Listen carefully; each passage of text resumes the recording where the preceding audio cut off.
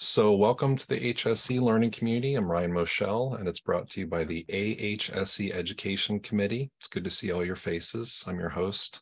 And uh, basically, this series is set up so that each of you can present your ideas, finished or not, um, innovative ideas that you can bring before the group. And then we get an opportunity at the end to discuss it, question it. Maybe it sparks interest in you for something you would like to do. Uh, but we'd love to have you. And it's a very friendly group. So please sign up for 2023. Everything's open right now for 23. Um, we have a Wave One graduate uh, who personally knew Thomas Hanna Lawrence Gold. Um, he's someone, and I must say this, he is the reason I'm here, and maybe quite a few of you are here because my client found Lawrence's website, and that's the only way I knew about somatics. And I watched her get better. And that was the reason I even started this process. So I'm very grateful to Lawrence for that, for putting it out there as much as he does.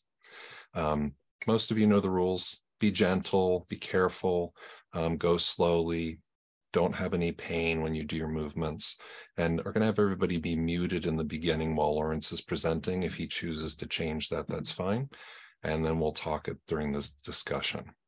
So today's title, um, something that I gave to it just from um, the, the, the description that Lawrence offered, which is Higher Integration, the Myth of Aging series. And most of you know those are the movements in the back of Thomas Hanna's book, uh, Somatics.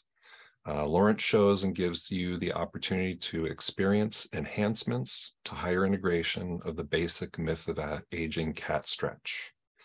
Uh, Lawrence, as I said, is Wave One graduate trained by Thomas Hanna.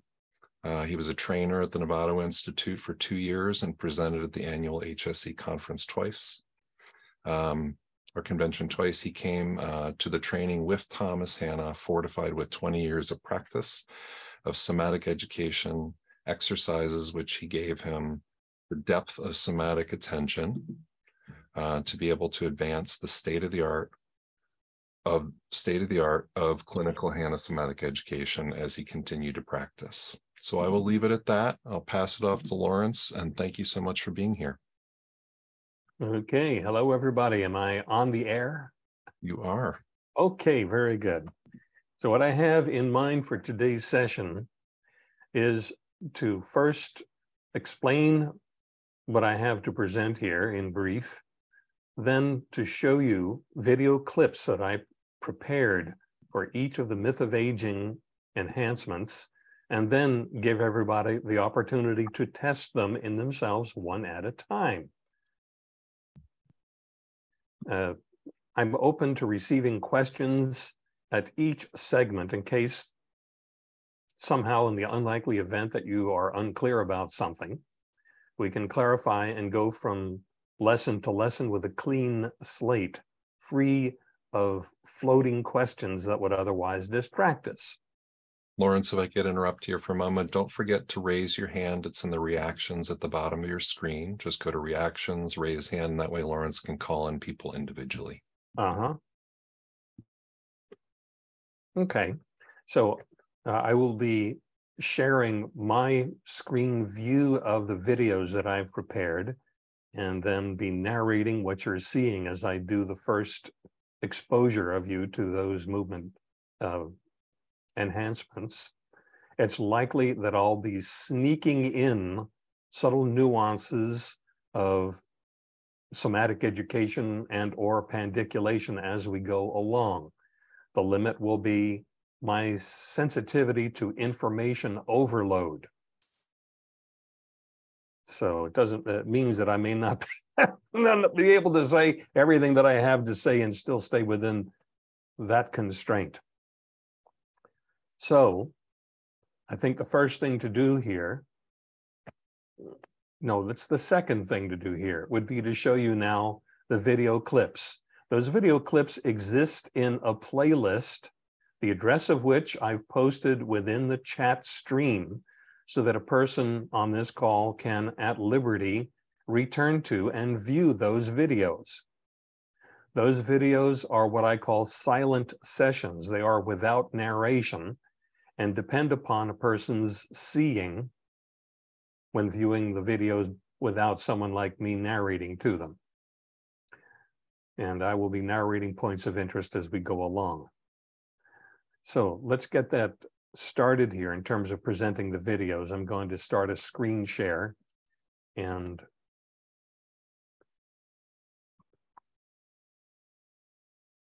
and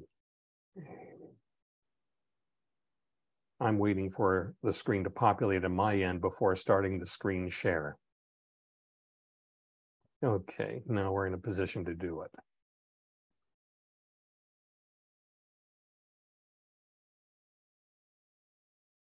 Bear with me while my computer goes bananas. Okay, here we go.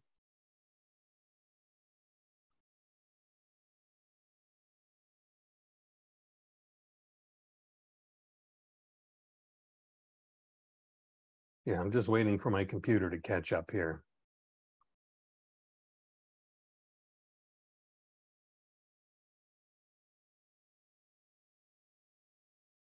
Okay. So what we'll be seeing momentarily is my material for lesson one. And Again, I'm waiting for the computer to catch up here.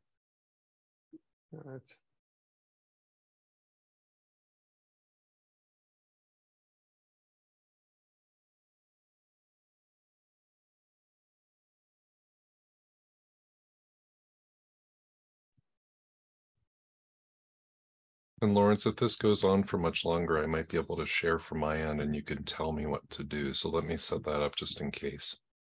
Okay, well, let's keep that as an option. Lesson one just loaded.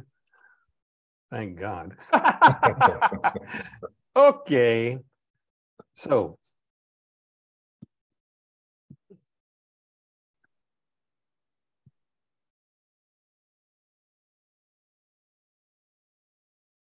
There we go. So assuming the working position, we have the knee bent and out to the side. That was the a way that Tom Hanna originally taught the lesson, not legs straight next to each other. This is in part to help stabilize balance in the lifting movement. If the legs are together, the person has nothing to stop them rolling side to side. This way we stabilize the pelvis. Now, as we go into that movement,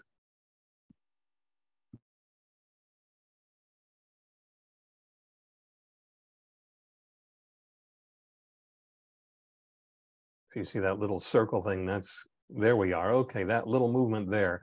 The first thing, the first action there is to raise the elbow, which causes the shoulder to move back and toward the neck. What I've added there is deliberately to tighten the neck on that side. So the action is both in the neck and in the extrinsic muscles of the shoulder that links the neck and the shoulder into a coordination pattern. Without that, the, the effect is likely to be confined just to the shoulder. This way we get the last segment of the spine, the neck involved. So that was an example of the first enhancement and how I'll be proceeding as we go along. Yeah, it may be, Ryan, that I'm going to need you to take over, but I don't even know if this is YouTube or something happening on my end. Let me try it because my video seems to be going at a good pace. So I'm going to take you off spotlight. If you just remove the share screen. All right.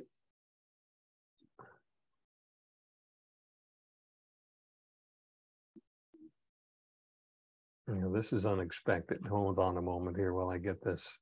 That's all right. Usually at the bottom of your Zoom screen, there's a little bar that says remove spotlight.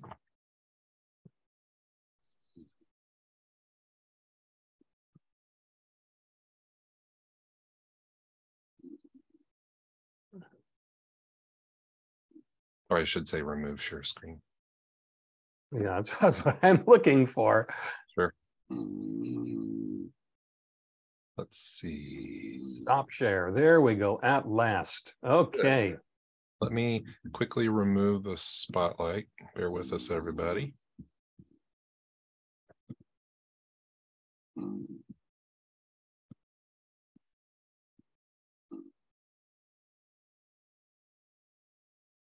Does everyone see that? Okay. Lawrence, Uh, you just tell me what you want me to show and I'll go ahead and show it. You want me to play this? Yeah, let's play that. Let it go past it because it was much quicker than YouTube displayed it. And I'm going to ask you to pause from time to time Sure. so I can comment on what we're seeing. Okay, so there's the first thing. Now, watch with the second lift what happens to the straight leg by itself, in case you haven't seen this before, which I imagine you have. See, those two are two ends of the same thing. As soon as you lift the shoulder, okay, pause it here.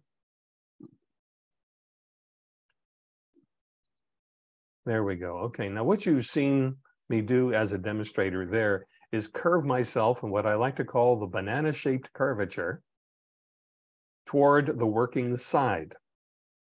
Now, this is a technique of aiming. The spinal muscles are rather broad from side to side, and if we do that move in the straightforward position, well, you only get the muscles closest to the spine. We can only feel that location closest to the spine. So this action of lifting and side bending enables us to involve the muscles more laterally. The leg swings the opposite direction to the curve. So if I'm curving to my right in the image, the left leg has gone left in order to counterbalance. The balance is essential because if we do a movement out of balance, we inevitably tighten up. So if we maintain good balance throughout the movement, then we have the hope of having a decent pandiculation. Okay, would you continue?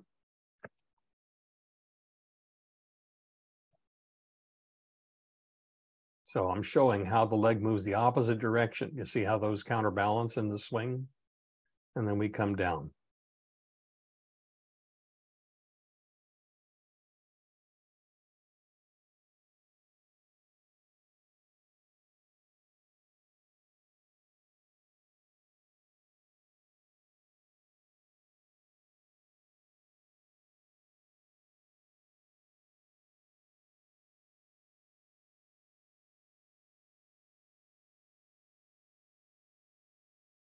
Okay, now toward the end of that lesson, we have an action in which we lift both legs at the same time.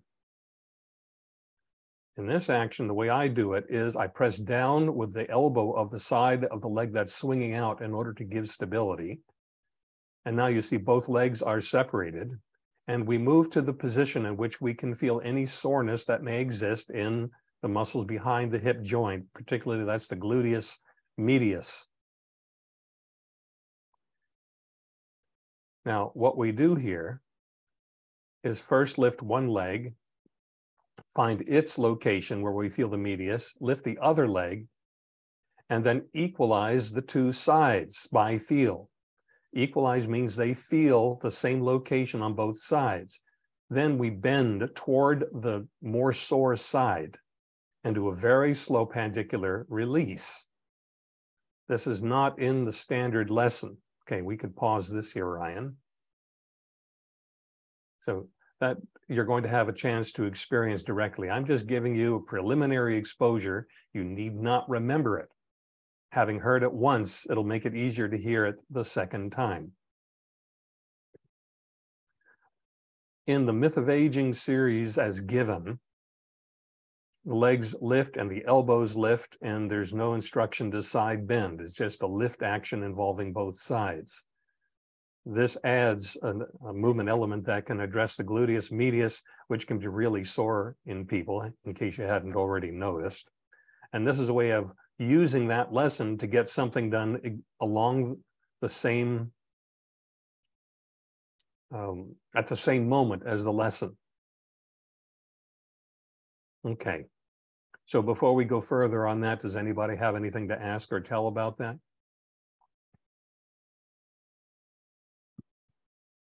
And Yeah. Ryan- Ryan, if you would queue up number two. I, I have a question, Lawrence. Yes, Ava? Thank you. Uh, The importance of equalizing, what are you trying to do?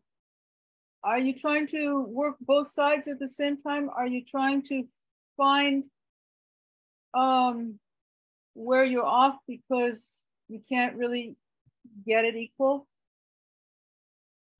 Well, this is a good opportunity for me to sneak in an enhancement. Yes, the equalization technique requires you to sense very distinctly and to compare two things against each other. As soon as they are matched in intensity, the learning process considers them to be one unit of learning. In the process, a, a person may discover where they're habitually contracted. That's a secondary effect. It's a desirable secondary effect, but it's not what we're setting out to do. What we're setting out to do is to equalize the intensity and location of sensations. Now, this is for symmetrical movements. Uh, I will say here that the equalization technique can be used for movements that are all on one side, in which the intention is simply to equalize the intensity. And then during the pandicular release, we maintain the intensity in both locations, matching with each other. In other words, they both decrease together to complete rest. Does that answer your question?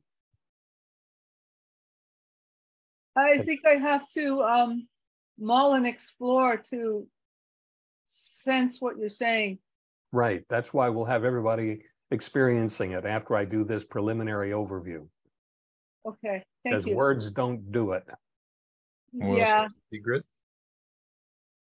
Thank you.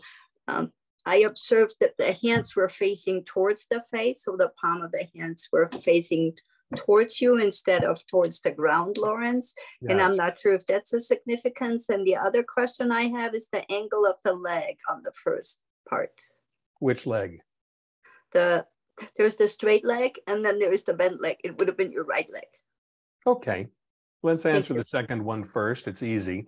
In getting into working position, I make it a point to cultivate symmetry. And the way we do that in this lesson is to plug the, the arch of the foot against the inner protuberance of the straight leg. That way, when you do the other side, you've got a reliable match. Whereas if a person just arbitrarily bends it, it can be anywhere and the muscular involvement changes according to position. Now, as to the palms being up, when the palms are down, that is more aligned with the contraction of the front of the body. When the palms are up, contraction of the back of the body. It's also nicer to your forehead to have a nice soft palm instead of bony, lumpy back of the hand and fingers.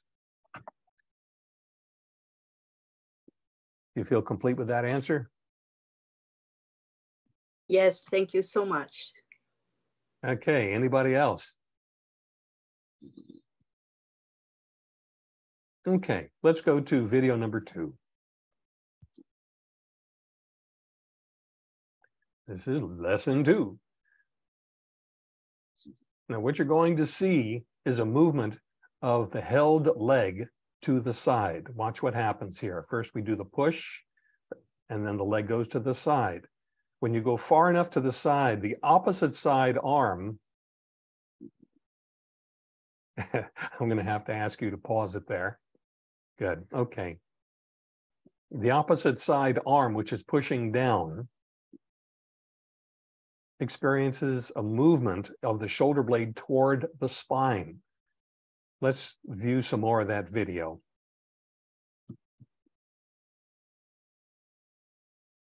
So when the leg goes off to the side, the right shoulder goes more toward the spine and it can be felt. Now, pause there. In that position, you'll be feeling the ribs pressing the surface more on the working side, in this case, left knee side. So when a person curls forward, the ribs on the left will be in much more contact than the ribs on the right. Now, what you're going to see as I lie back again is that I stay on top of those ribs that are bearing the weight. That creates continuity in the movement. Here's the principle. You go, you come out of a movement exactly along the same lines as you went into it. Not to do so is a little bit like a politician answering a question other than the one that was asked. It lacks relevancy. And so the learning is impeded by coming out of a pandiculation in a way other than one went in. And by way, I mean line of movement. So continue the playback. So now I'm on the left ribs and I sink back on the left. And then as I relax, I spread out. Okay, so that was the contralateral connection. We have an ipsilateral or a same side connection, which uh, we do with the same approach. So here we are. Well, yeah, that's right. Okay, that's good. Now watch. So that's just the simple form. Now watch what happens when we go into the movement. The left leg is going over to the right and the left shoulder is tucking back and under on the left side. Mm. Now we're riding on the right ribs and we sink straight down onto those ribs to complete relaxation.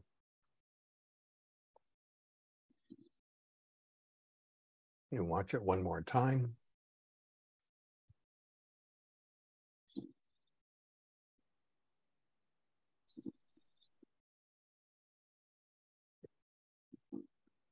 All right.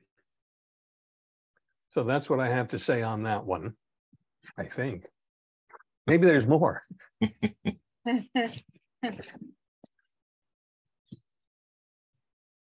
What happened there?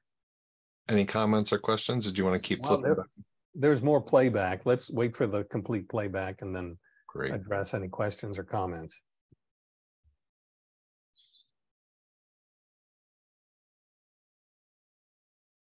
Okay, so this is the closing movement where we're bringing both knees up. And what you're seeing is that the feet are dorsiflexed, fronts of the shins tight.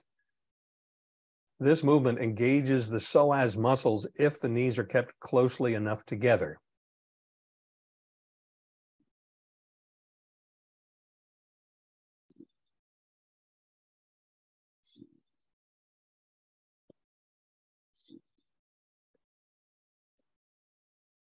Exhale. When the belly tightens, then the elbows come forward. And slowly inhale back.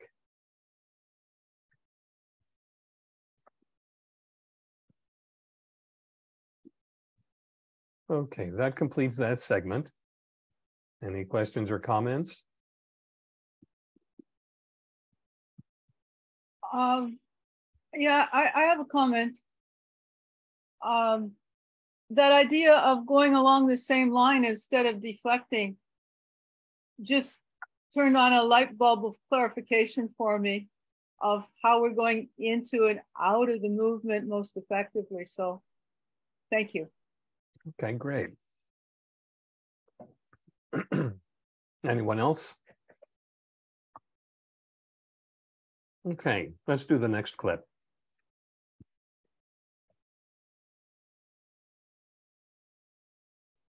Lesson three. Now, being a sideline move, I'm going to make a comment in a moment. I'm waiting for the positioning to occur. Pause in place here. Okay. Now, you saw me make a little gesture with my hand. I was pointing to the knees being straight forward of the hip joint. So there's a 90 degree flexion at the hip joint. There it is. So I'm saying 90 degrees. See the elbow is at 90 degrees there, and the hip and the knee of the top side leg are at 90 degrees. Okay. Now let's stay paused here for a moment. One of the pitfalls I've seen people experience in side lying action patterns is that they're not really on their side lying edge, which means they are twisted.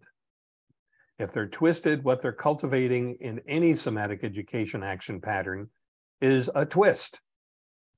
And a twist is not a home rest position. Twist is an action position.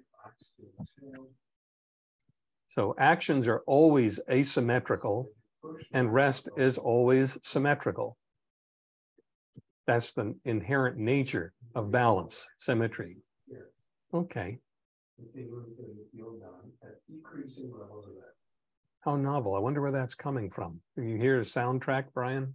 I'm looking to see if anybody's unmuted. Okay.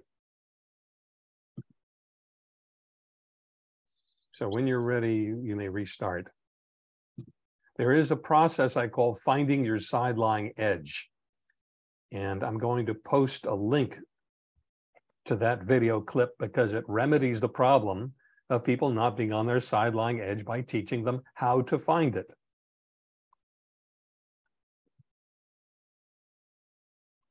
All right, pause in place. Now, in this contraction moment of this pandiculation, there are a few options of enhancements to add. One is the underside leg pressing down at the shin and foot helps the top side leg and foot to lift. And anybody, would you check and see if you're muted and somehow playing back something? Okay. The other thing is that lifting the head can be done either of two or actually three ways. One is the hand lifting the head as a passive lift. So the arm and side of the body are doing all the lifting work. The other is to let the hand float on the side of the head and do the entire head lift with the side muscles of the neck and trunk. The third way is to balance the two, to equalize the two. Equalizing produces an integration up the entire length of the spine. If we do it with the head, the integration is primarily at the neck and maybe upper thoracics. And if we do it with the arm, we're using the extrinsic shoulder girdle muscles. By integrating the two, we get a change that will not occur if we do either one or the other. Another thing you may notice is the position of the underside arm with the elbow underneath the side of the ribs. Since this is a movement of freeing the side bending action, a pandiculation in which we come down into a longer or more exaggerated curve serves that process of awakening into integration more than if the arm were to be extended uh, past the head. Past head is also a good position. It just doesn't give you as much curve. If you want to know the relative merits of the two, I suggest that you test both. Okay, let's continue a little bit here.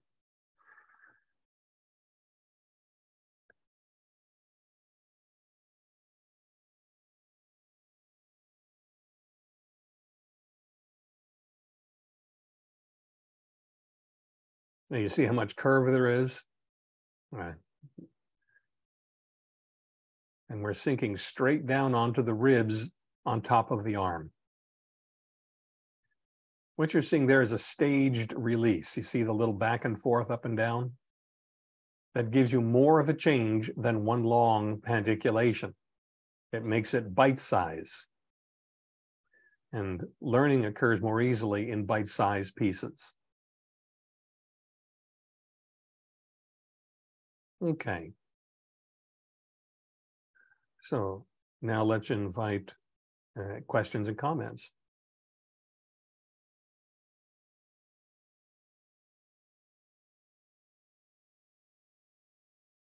I have one comment. Um, Yes.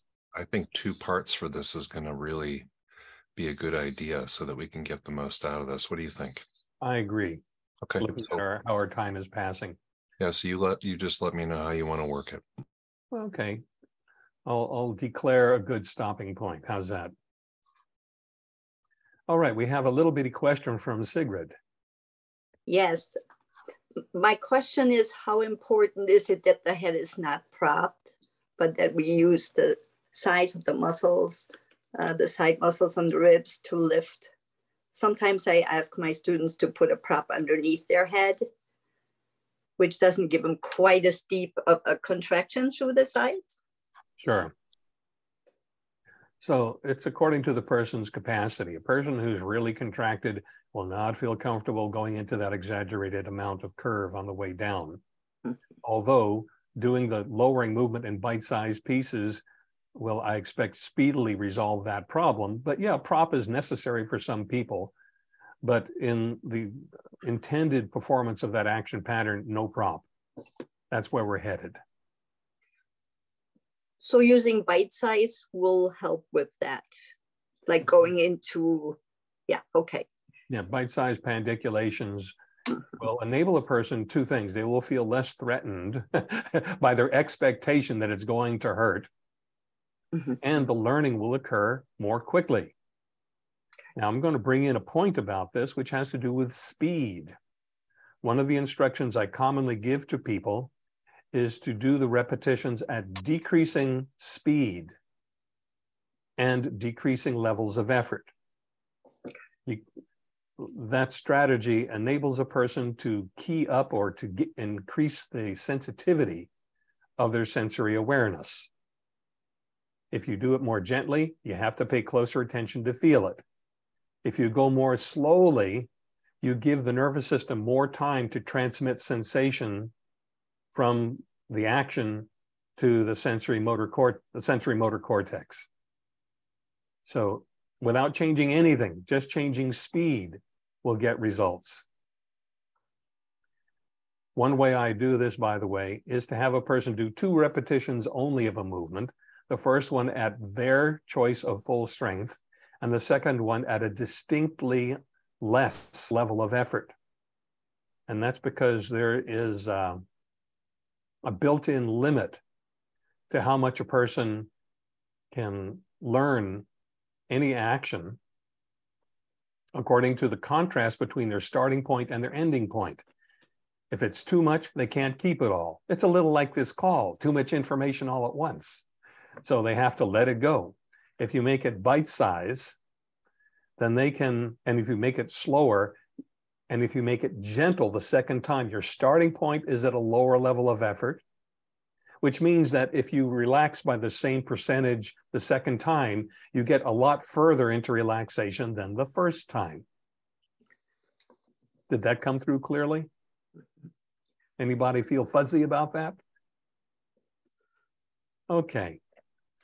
All right, let's move ourselves to the next action pattern. We also have Carol who has a question. Oh, okay. By all means, hello. Hello. Um, I was just wondering if you could say a little bit more about how you get people to um, be really vertical in their torso when they do this, as opposed to leaning back or forward.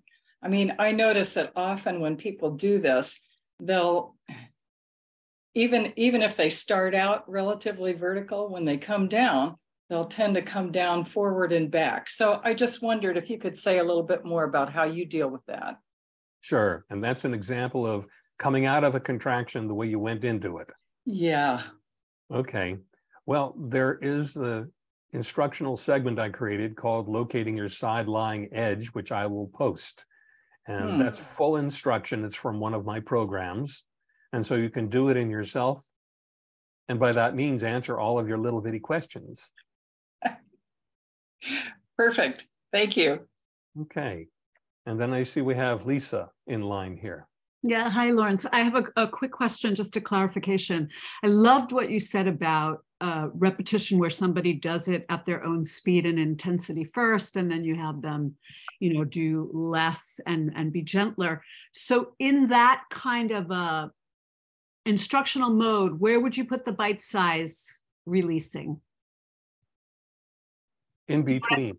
In between? It doesn't really matter. Your starting point at whatever level of effort you're using uh, has a distance of relaxation to the end point of the movement.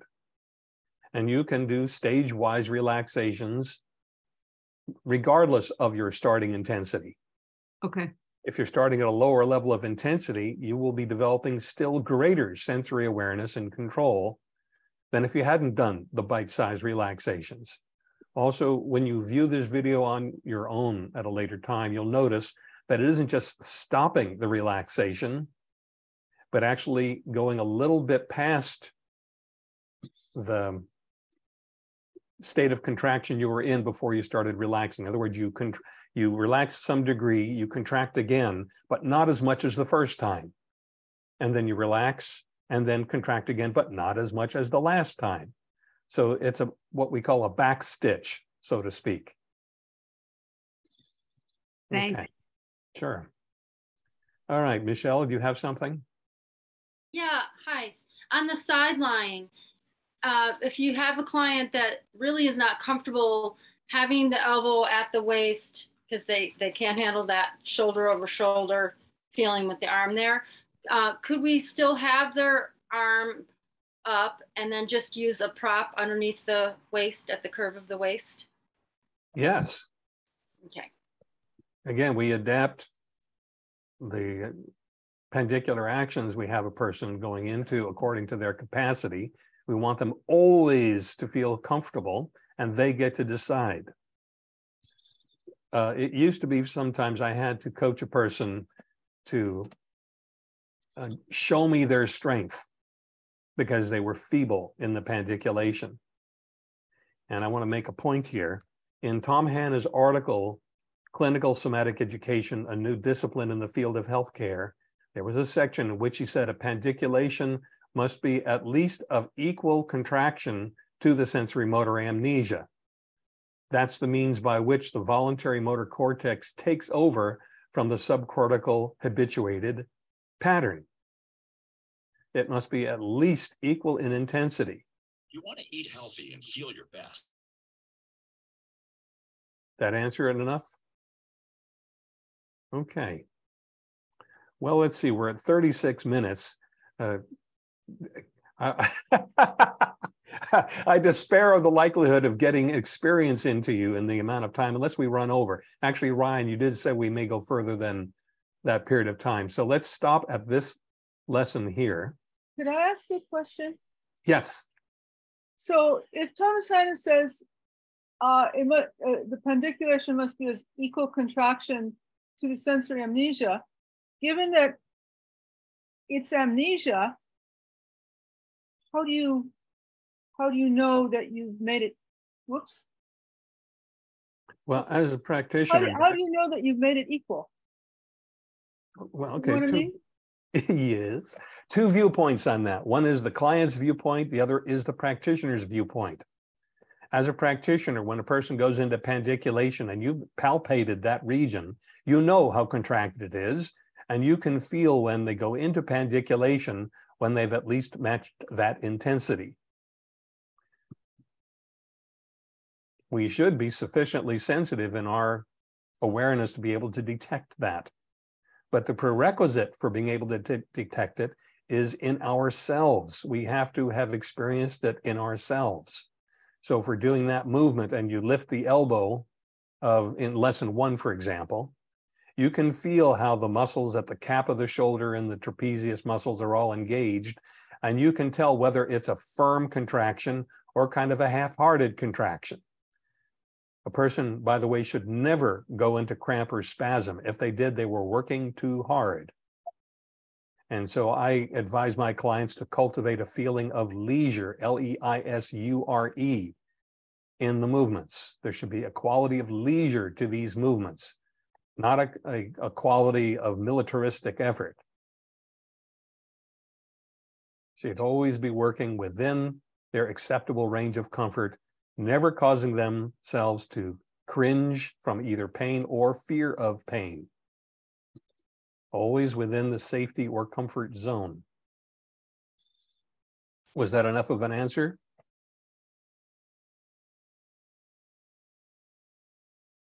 You got more? If you're speaking, I think you're muted. Yes, you are. Eva, you're muted. I, I don't know if I really it was it was an answer, but I don't know if I really comprehended it because the idea of sensory amnesia is I cannot feel what I'm doing. Oh, you can feel it, or you couldn't even do the contraction. No, it's not, you can't feel, it's that your sensory uh, uh, sensitivity is decreased so that you're not sensing past a certain point of relaxation. but a pandiculation invades that zone of unconsciousness or amnesia progressively. Otherwise, you can't comprehend it. This is not something that your mind can know in advance. You have to do it and then the words will make sense. No, I see it now, because as I go into the pandiculation, I'm heightening the experience which I was uh, not, not sensing before. So as I heighten the experience, I start to become sensorially aware of what I'm doing in terms of my musculature, bones, whatever, mostly musculature. And then I can start to wake up the uh, dullness, which we're calling amnesia, into sensory awareness. Yes. Got it. I had to put in my own words. Thank you. that's a good thing to do. Put it in your own words. Huh. Okay, so we've gotten through lesson four. Now I'd like you all to have an opportunity to experience what I've been talking about. And I'll be observing if you put your camera at your work surface. And I'll be commenting accordingly, but I just want people to experience the thing at least once. So we will not be doing repetitions of a lesson. We'll be doing enough repetitions that you get the experience of what the words have described. So as I like to say in somatic education exercise sessions, ladies and gentlemen, start your nervous systems. Okay. Okay, so we're going to lesson one and choose, you'll be lying on your front. Get this image. And you choose your working side by bending the knee and turning it out to the side, planting the arch of the foot on the inner protuberance of the other, the straight leg knee joint.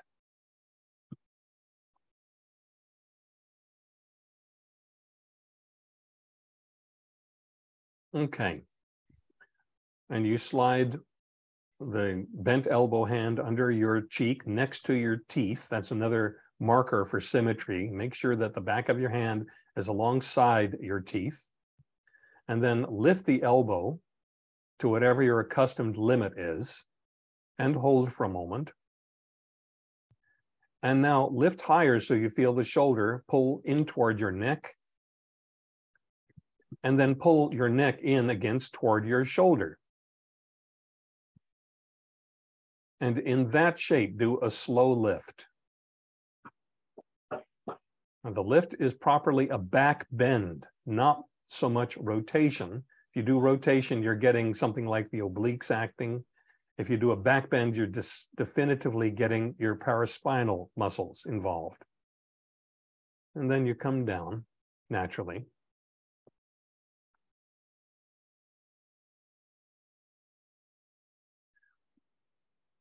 And then do a repetition without bringing your neck and shoulder toward each other, if that is your custom pattern, without. And just do it that way and do a lift the same way and compare the sensation with and without equalizing the neck and shoulder actions.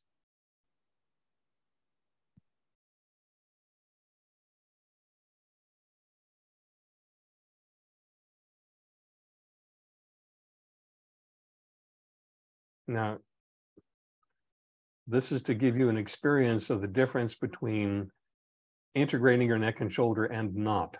Okay, next action will be aiming. So lift the bent elbow, neck and shoulder together. Lift and notice how your straight leg wants to lift by itself. And help your straight leg lift the way it wants to lift by itself. Help it. And now equalize the effort of lifting the straight leg and lifting the upper torso, neck and head. And then the action should end by both the leg and the lift action of the upper torso ending at the same instant.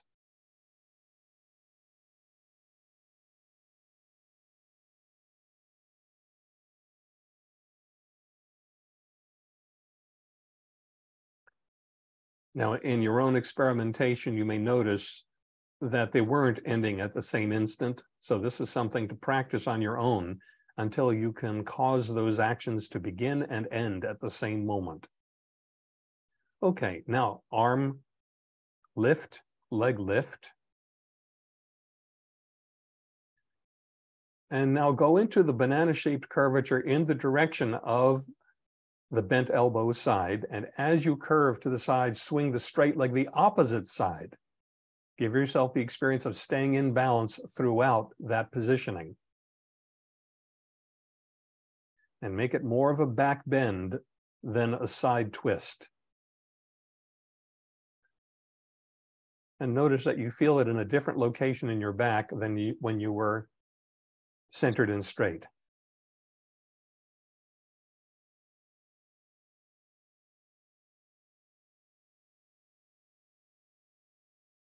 Okay. So complete what you're doing.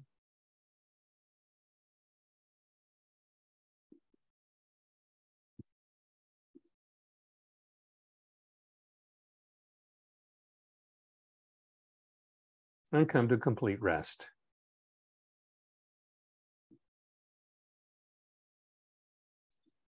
Okay. I'll give you a few seconds to breathe into that. Nothing fancy.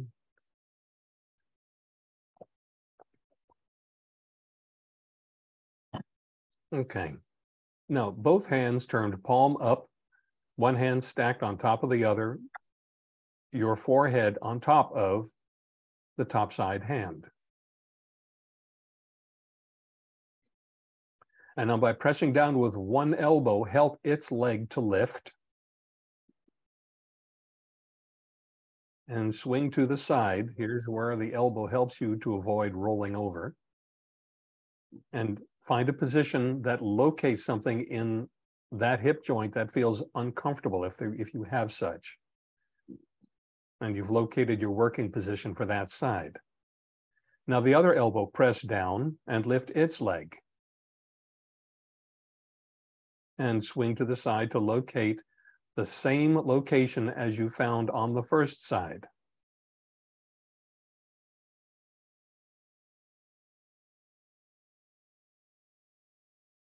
And now lift your elbows like wings.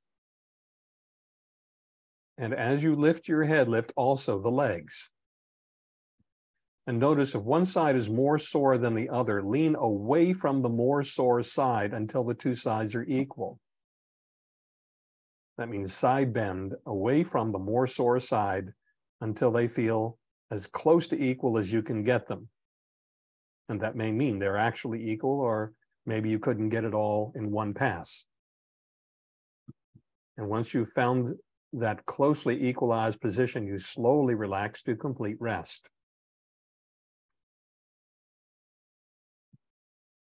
As a course of practice, it is useful to start with alternating elbows if you do more than one repetition.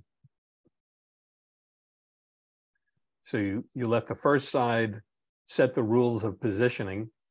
The next repetition, you let the second side, the other side, set the position and let the first side match the second side's position. So this is how you clean up weird stuff in the gluteus minimus, which in my opinion does not operate in a unitary way, meaning that the whole muscle contracts no matter what you do. It depends upon your positioning, whether a posterior aspect of the gluteus medius contracts or the anterior or straight up the side. So what we're dealing with here is the posterior aspect of the gluteus medius.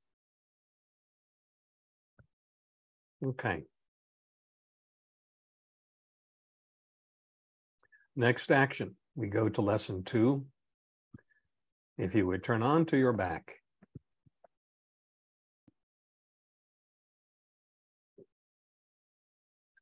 And in placing the hand behind the head and neck, don't place it behind the back of the head because that causes your head to be lifted forward somewhat.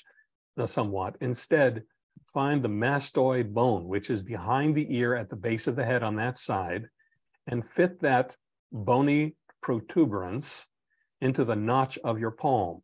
The notch of your palm is at the base of the palm between the eminence of the thumb and the eminence of the little finger. It's this notch, which is where the carpal tunnel passes through. And that fits right over the mastoid bone and the fingertips are now in good position to feel the mastoid bone of the other side without forcing your head into a lifted position. Now, the other hand, we're going to do the same side leg as the bent elbow. So bring up the knee of the bent elbow side and place the hand crosswise over the tibial tuberosity. Tibial tuberosity is the potato of the lower leg bone. It's a tuber, it stands out, it's round, and the fingers are crosswise. Gives you a much better hold than if your hand were fingers pointing along the length of your tibia. And now as you push with that leg, you hold on the arm so that the shoulder is pulled somewhat out of its socket, always within the range of comfort, and push down with the bent elbow arm. And in that position, swing the engaged knee away from the bent elbow side far enough, you'll feel that the shoulder blade of the bent elbow side tucks under in back.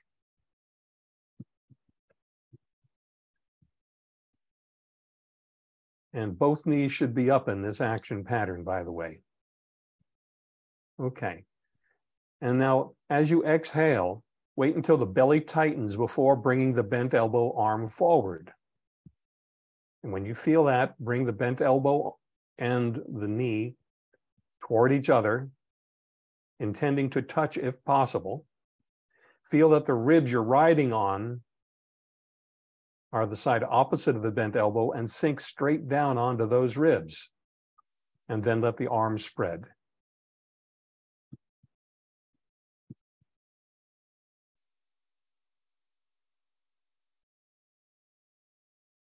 Now you should be coming to complete rest between repetitions.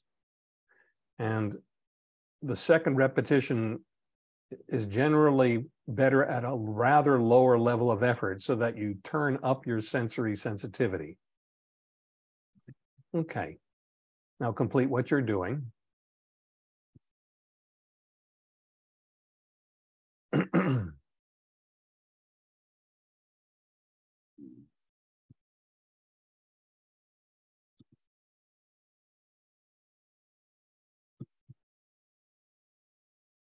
And now switch the hand to the opposite side knee. And don't switch the arm, just switch the hand at the leg. Now we're doing the contralateral. So if it's the right elbow bent, it's the left knee that your hand is holding. And as you breathe in, push with the, the bent, uh, the knee that you're holding, that leg, push and cause the shoulder to be drawn long and press down with the bent elbow shoulder. And now move the leg you're holding off to the side laterally, not toward the midline, but laterally. And notice what, when you get far enough, if you're pushing with that leg, you'll mm-hmm. feel that the bent elbow shoulder tucks under. Then you exhale when the belly tightens, elbow forward, and knee and elbow toward each other. The other foot is down. And as you inhale back, sink onto the ribs that bear the weight.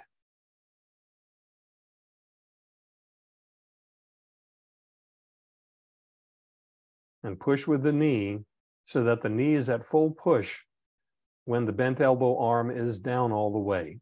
So you're synchronizing the leg and arm movements. It's not one first and then the other second. It's both together.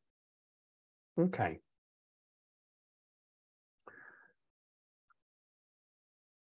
And complete what you're doing.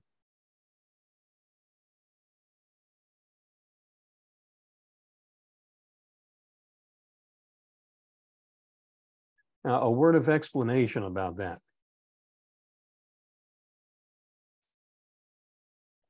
Why exaggerate the contraction at the back of the body? Well, people are commonly co-contracted. That means opposing muscle groups are both at a heightened state of tonus. So if you start this action with a pandiculation of the back of the body, then it no longer provides resistance to curling forward. So you can get a more distinct sensation of the frontal contraction typical of the startle reflex pattern, which is what, what lesson two is about.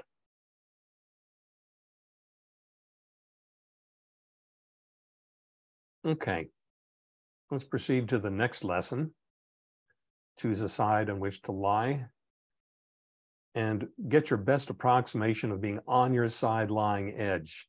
May I suggest to do that, take your top side hand and in effect cup your armpit in the, in the palm of that hand. This is to help you find your side lying edge. If you're on your left, your right hand is cupped, so the palm is under the armpit, the thumb is in front of the pectoralis muscles, and the digits, the fingertips, are behind the teres muscles of the shoulder blade. And that will help you to get into a better side lying position. This is what I'll call a quick and dirty technique. It's not as accurate as the method that I've posted. Okay. And make sure your knees are straight forward of your hips and let's just rehearse lifting the top side leg first. So as you angle the top side lower leg up, you press the underside shin and foot down. Notice how those two actions help each other.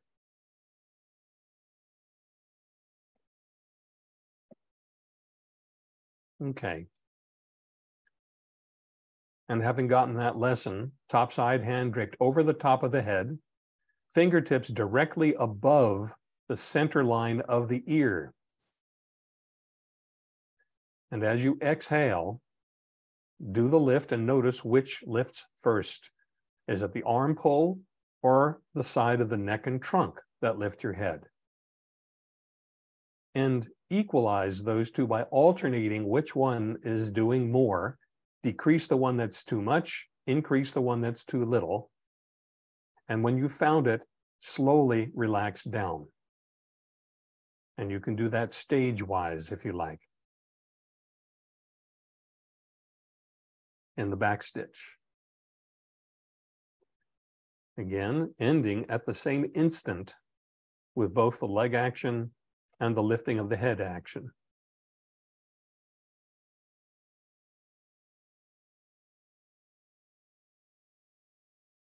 And the face should always be, always be straightforward so the side of the face is parallel to the floor. Okay, complete what you're doing.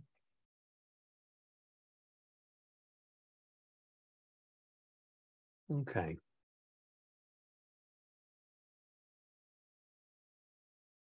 And turn onto your back and sense the effect of this tiny little bit of pandiculation.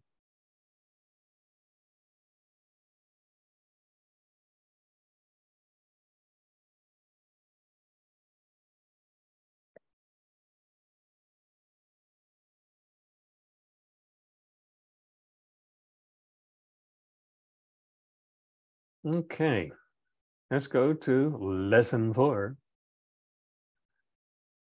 So you be on your back.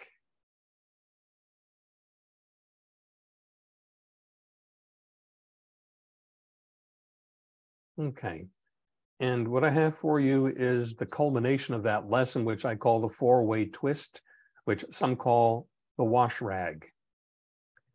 And to do that, the arms are do it straight outstretched to the side, your starting position. And you turn one palm down, the other palm up, and you drop the leg slowly to the palm down side, and you face the palm upside. You turn your face toward the palm upside.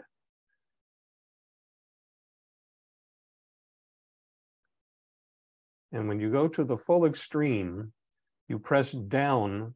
Oh, I see something here. Don't keep your legs clamped together. Let your legs be loose so that the underside legs falls freely to the side at your determined own pace. but not clamped together. Okay, now in that position of the legs over, you press down with the arm that's above the head or palm up and tighten the buttock of the leg that to which side the knee is draping. So if it's your right arm that's extended and palm up, it's your left leg that's pushing down. So the buttock is tightening. And then you slowly relax that action before switching directions.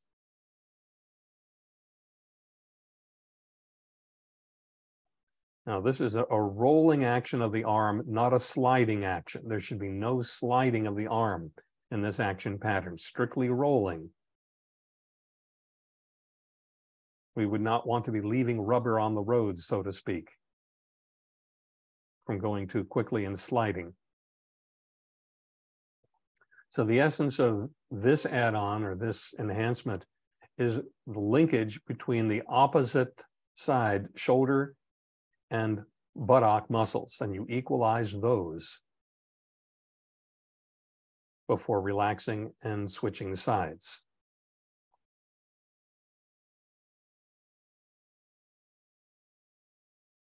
Okay, and complete what you're doing.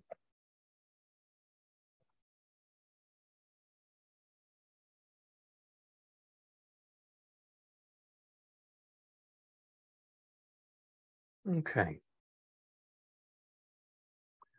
So it looks like we're going through lessons one through four today. And before we, we're going to have some discussion. Before we quit, we're going to have some talk time. So Ryan, is there any way you want to um, direct us that sounds great. Thank you, Lawrence, for presenting. One thing I wanted to suggest, because uh, this is such an active presentation, is that maybe some of you might want to stay on the floor and kind of roll over and ask a question and then work through that um, in your. There's a thought. Yeah, so just, you know, we don't necessarily have to come up right into our heads if you don't want. So some of you can come up, some of you can stay down, and we'll switch over. So um, Thank you from uh, the Association for Hanna-Somatic Education, which I know you helped to start. Thank you so much for presenting today. Um, we look forward to your second and your third and your fourth presentations in the future. Um, and let me switch over to the next record.